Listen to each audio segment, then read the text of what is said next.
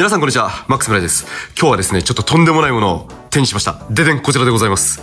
私が映っています。えーこれ何かと言いますと、日本だとドコモとソフトバンクさんから、えー出ている、なんと、2画面スマホです。パッカ。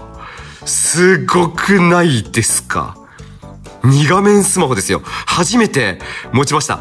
ほとんどの方持ったことないよね。これ、体験したことないですよね。ちょっと大きさから入りましょうか？大きさから。大きさは、こちらが iPhone SE です。iPhone SE。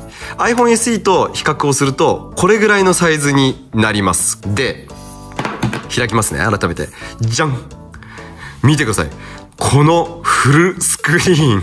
とんでもないデカさ。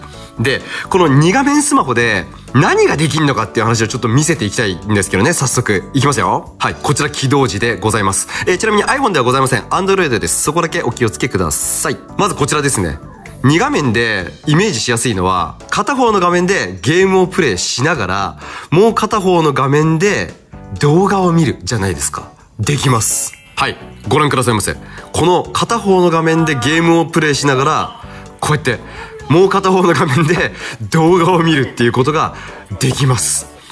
これすごいっすよね。その、ゲームね、皆さん攻略情報とかも結構見ながらやることあるんじゃないかなと思うんですけど、それが実現できるわけですよ。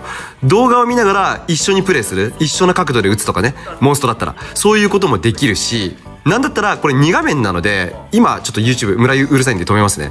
こちらの画面で例えば LINE 通話をするとか、ことをしながらゲームをプレイするみたいなこともできます。お互い顔を見ながらプレイすることもできます。他にもこうやってアップバンクでコスプレ記事を見ながらゲームをプレイするとかね。あの、結構オート気味のゲームとかも最近多いんじゃないかなと思うんですけど、オートのゲームであればもう完全にこれで調べ物をするとか、読み物をするとか、それこそ漫画も読めるね。漫画も読める、動画も見れる、そんな傍らでゲームをプレイするってのが実現できますね。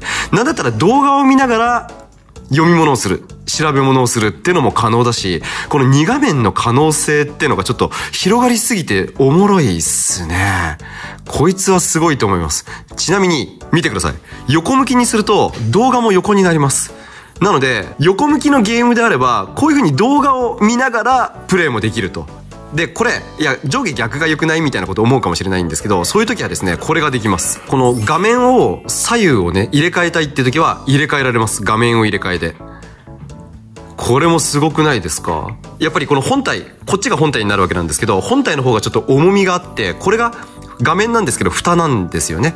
その本体の方が重量感があるので、その重量感のある方にメインを持ってきたいじゃないですか。なので、この画面を入れ替えることで好きに触れるっていうのがすごいところの一つかな。ちなみにこう、デュアルスクリーンオフっていう設定もあります。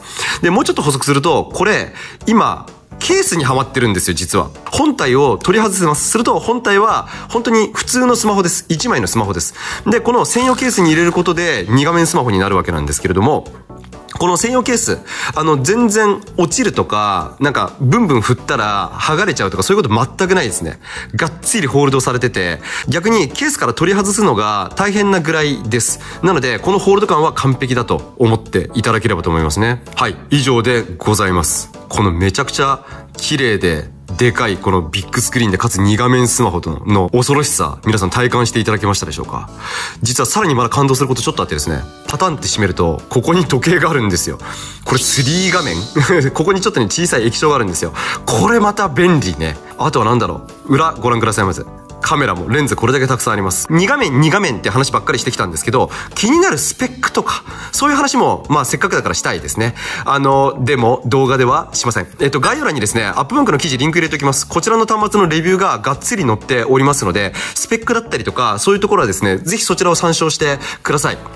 この2画面スマホ、全く新しい世界ですね。あの、体験したいという方、まあ興味があるという方、まあぜひともこの動画プラスアルファ概要欄のリンクからアップバンクの記事見て、見ていただいて、ぜひ勉強されてくださいませ。